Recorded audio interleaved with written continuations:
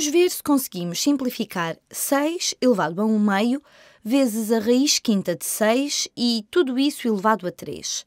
Convido-vos a pararem o vídeo e tentarem pensar sobre isto sozinhos. Deixem-me colorir estes expoentes para que os consigamos acompanhar melhor. Então, a azul tem o expoente 1 meio, a magenta tenho a raiz quinta e vamos ver. A verde, vamos pensar neste expoente ao cubo. Então, uma forma de pensar nesta raiz quinta é que isto é exatamente a mesma coisa que elevar este 6 a 1 quinto. Então, deixem-me escrever isto desta forma. Esta parte aqui poderíamos reescrever como 6 elevado a 1 quinto, 6 elevado a 1 quinto e depois tudo isto elevado a 3. Tudo isto ao cubo. E, obviamente, temos aqui este 6 elevado a 1 meio, 6 elevado a 1 meio vezes tudo isto aqui. Agora, o que acontece se elevarmos algo a um expoente e depois elevarmos tudo isso a outro expoente?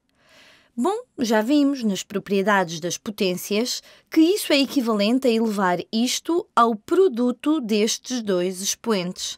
Então, esta parte aqui poderia ser reescrita como esta parte aqui poderia ser reescrita como 6, 6 elevado a 3 vezes 1 quinto é 3 quintos, 6 elevado a 3 quintos.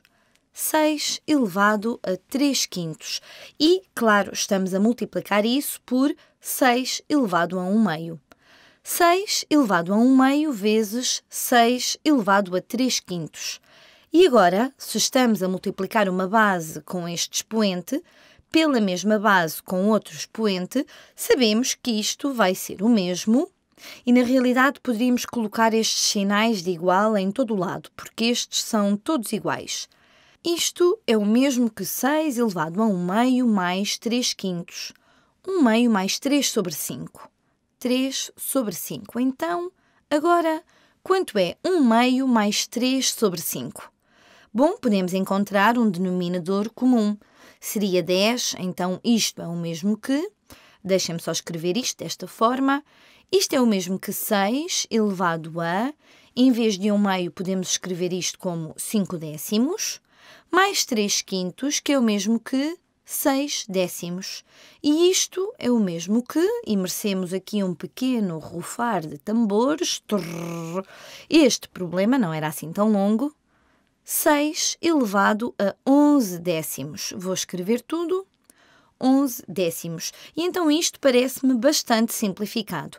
E penso que acabamos.